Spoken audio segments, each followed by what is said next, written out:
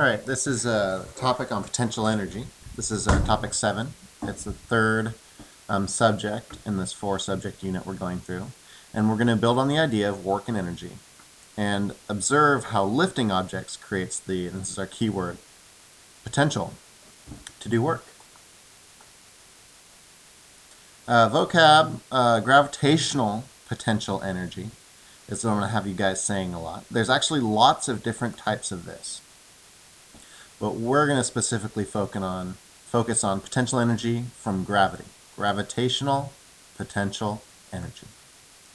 And a little bit in this new law, conservation of energy, which some of you are familiar with. Some maybe not. This page is blank. Okay, so uh, this is potential energy. It's topic 7. And this will be on page 24. And uh, the question is, the first thing, you don't really have to write any of this, but we just want to review this kind of keyword. And it's, it's what does potential mean? Uh, you might have heard this word a lot. I have so much potential. Well, then why don't you ever do anything? Oh, I don't want to use it up. So potential is this idea that high school kids hear this a lot because you're like, you're being asked to think about what are you going to do with the rest of your life? You have all of this potential. Let's unleash it. Parents are always like, you've got to get the most out of your potential. Or at least um, the ones on TV are. and there are also some things with potential energy. This would be some things, potential energy examples. Seeds have like potential to become a tree right? There's like some seed nest stuff in here and some vitamins and protein for the plant to do its initial growth. But it's not a tree yet. That's potential. Batteries have potential energy. Now they don't do there's nothing happening, but if you put a battery in a toy, you can turn on the toy. But a battery in itself has potential. It's just not doing anything yet. Gasoline has potential chemical potential energy in gasoline. Right? This is energy within the chemical structure of gas that can, when sparked, it can turn an engine. And finally, what we're talking about is potential energy in falling objects, or actually about objects about to fall, is potential energy from gravity. So the energy gravity gives things as they can, say, go down a slide. All right, so here's your first vocab word. Gravitational potential energy is the energy stored in a body due to gravity based on its position. So it is energy stored due to gravity based on its position. So it's kind of three things. So first thing is your formula. Potential energy equals mass times gravitational acceleration, which is 9.8. We call this small g times its height in meters. And it's actually, we're going to see in a moment, it's related to force times distance. Um, so let me just add these first here. We are called PE, potential energy, and sometimes you can give it this. Gravitational equals mass times gravity times height. Gravitational acceleration and they're directly related. If you have more mass, the object will have more energy if it falls, and if it goes higher up, it'll have more energy when it falls. So they're directly related.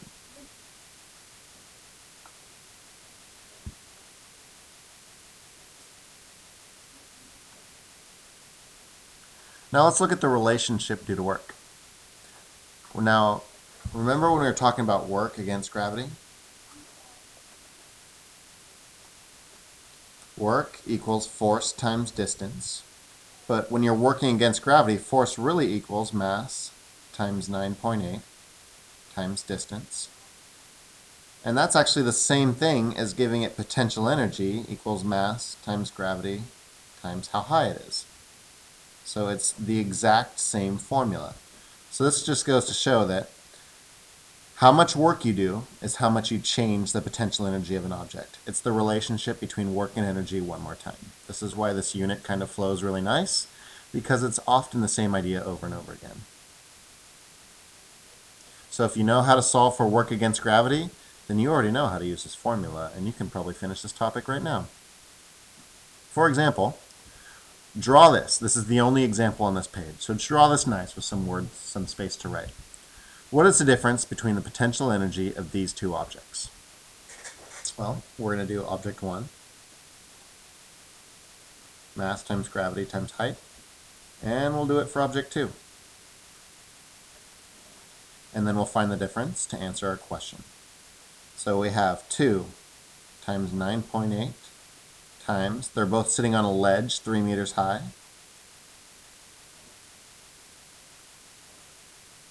Uh, let me calculate this thing for me. Hold up.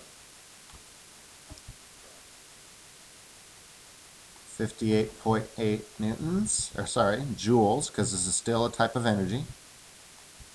And object 1 equals 20 times 9.8 times 3, which equals,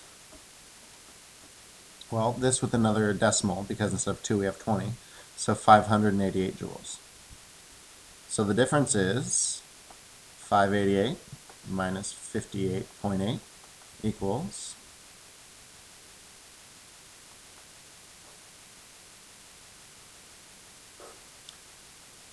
So we have the difference is 529.2 joules. But the moral of the story is practice this formula.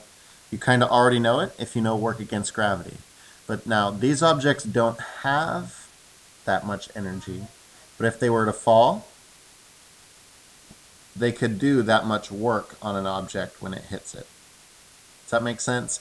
It's not actually doing anything, but if it were to fall, it could do that much work as it falls. So that's a connection between you give it work to lift it up, and then you let it fall, and it can do more work as it falls. Work becomes energy, becomes work again. Uh, finally, let's connect these two ideas. What happens to kinetic energy as an object falls, and what happens to potential energy? Well, as an object falls, height goes, it decreases, so potential energy decreases. However, as an object falls, velocity gets bigger. So velocity increases. So as an object falls, potential energy, or sorry, kinetic energy or moving energy goes up. And we have this relationship where as you're losing potential, you're gaining kinetic.